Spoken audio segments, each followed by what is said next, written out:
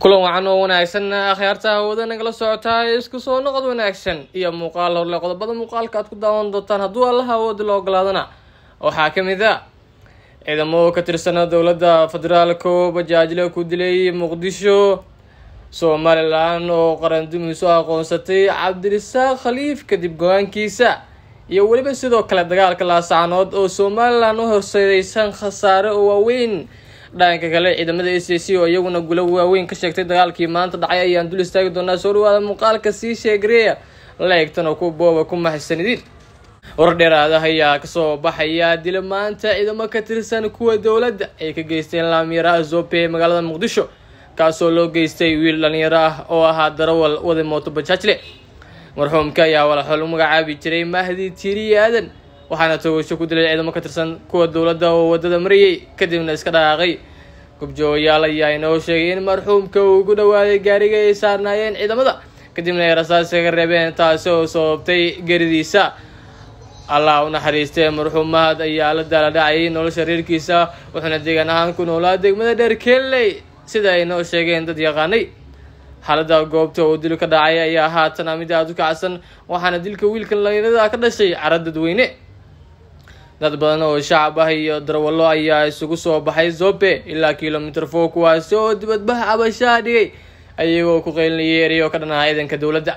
Dibadbaxyaasha ayaa sidoo kale ka dalbaday in la soo qabto askarigii ka dambeysay falkaasi si loo horkeeno cadaaladda loogana qaado tallaabo adag oo sharciga waafaqsan. Dhanka kale ma jiri laaya hadda wax hadalaa oo ka soo baxay saraakiisha laamaha ammaanka oo ku aadan dilkaasi dhaliyay carada dadweynaha. Dilka loo geystay wadayaasha mooto bajaajla ayaa soo badatay muddooyinkii dambe. Mana jirto cid la soo qabtay dilkooda. Inkastoo dhowr askari la geeyey maxkamadda ciidamada qalabka sida. Dhanka kale xukuumadda somalilan ayaa guddoomiyaha golaha wakiilada somalilan cabdirasaaq khaliif oo aqoonsatay. Waxa ay u yeertay qaran dumis kadib markii uu axaddii eedeyn culus u jeediyey maamulka uu hogaamiyo madaxweyne muuse biixi wasiirka warfaafinta somalilan oo la hadlay warbaahinta ayaa sheegay in cabdirasaaq khaliif uu in badan isku dayay inuu qaranka khiyaamo isagoo ku eedeeyey in dhibtii ka taagnayd laascanood uu sii laba jibaaray cabdirasaaq khaliif waxa uu caddaystay fikirkiisa uu kaga horjeedo qarannimada jamhuuriyadda somalilan. In badan waxa uu isku dayay inuu qaranka khiyaamo wuxuu noqday qofka keliya ee dhibkii meesha taalay sii laba jibaara weligiina wax qaranka dan u ah kumuu talin ayuu yidhi wasiir saleebaan yuusuf cali korre. Hantidii halkan looga dhiibay cabdirasaaq khaliif ee madaxweynuhu u dhiibay ee loogu talagalay in mushkiladda lagu xaliyo ayuu isticmaalay inuu dhanka kale shidan iyo rasaas uu siiyo. Wasiir koore ayaa waxa uu sheegay in cabdirasaaq khaliif uu dhammaan ka soo horjeestay dhaartii uu kala hore u maray reer somalilan wixii u dhaartay ee qaranka uu ka soo horjeestay. Meeshii laga rabay inuu xal keeno oo uu dhexdhexaadiyo dowladda iyo dadka wuxuu la saftay dhan hadalladiisa ayaa markhaati idinka ah ee ma aha waxaan odhanayo waxaa kale uu ku eedeeyey in khaliif uu ka mid ahaa dadkii wax ka soo dhisay dowladda federaalka soomaaliya. Weligiina uu hagardaamo ku hayay somalilan. Wuxuu hadimo aan loo aabayeelin ku sameeyey ciidanka qaranka iyo khiyaamo qaran oo uu galay dadka iyo dalka somalilan. Waa inuu xilka si toosa isaga casilo qodobada uu ku ahaa guddoomiyaha golaha wakiilada dhammaantood uu jebiyey ugu dambeyntina waxa uu sheegay in ka xukuumad ahaan isku dayeen wax kasta oo hoos u dhigi kara xiisada taagan balse dhinaca kale uu ka shaqeynayay sidii ay u sii ballaaran lahayd. Cabdirasaaq khaliif ayaa shalay shaaca ka qaaday in xasuuq baan uu ka dhacay laascanood isagoo sheegay in awood xaddaafa loo adeegsaday shacabka ku dhaqan magaaladaasi. Guddoomiyaha ayaa adeynta u weyn u jeediyey madaxweyne muuse biixi cabdi oo uu tilmaamay inuu ka soo horjeedo in xal rasmi a laga gaaro colaadi ka taagan magaalada laascanood waxaa kaloo intaasi ku sii daray inuu qaaday tallaabooyin dheeraad ah oo ku aadan arrintaasi islamarkaana uu kala furfuray xarig kasta oo lagu dooniyo in lagu gaaro nabad. Madaxweyne muuse biixi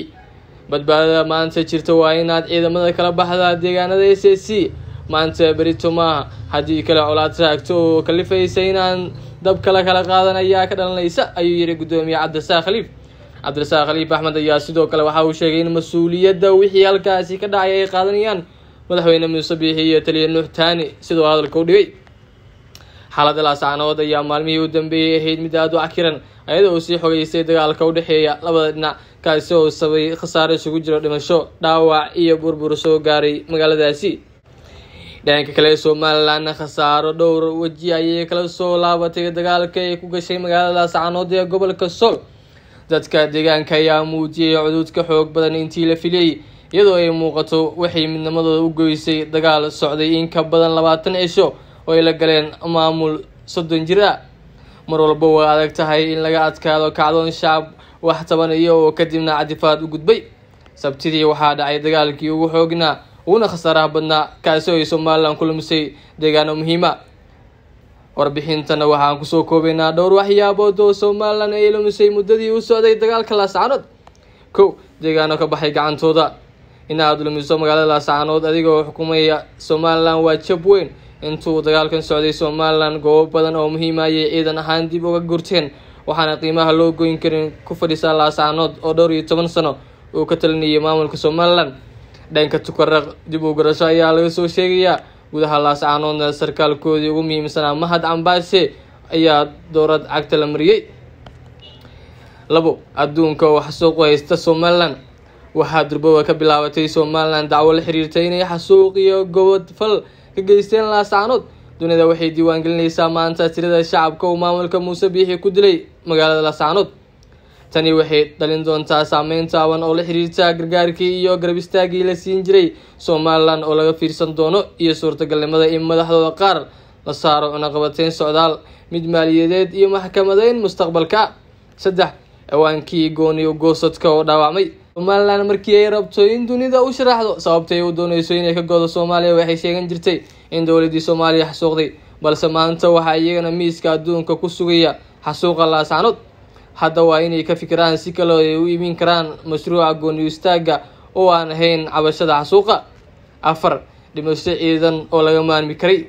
askar badan ayaa somalilan kaga dhimatay dagaalka laascaanood iyagu dadka ay dileen kuma faani karaan oo dacwo xasuuq shacab ah ayaa loo haystaa durba. Laakiin muuse bixi waxaa hortaala dood gudaha ah taasi oo sheegaysa maxay ku dhinteen askarta somalilan ee laascaanood iyadoo ay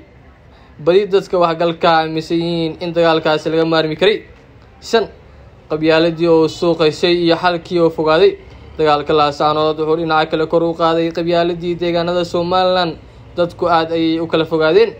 maamul walba oo dhisan uma fiicna jiritaankiisa. In qabyaaladu hadaf ka noqoto bulshada dhexdeeda waana arrin aan la saashan karin. Waxa ka dhalan doonana mustaqbalka dhow. Sidoo kale waxaa muuqatay in xalka laascaanood isii fogaaday waxaana sabab looga dhigay sida uu maamulka hogaamiye muuse biixi u wajahay arrintan.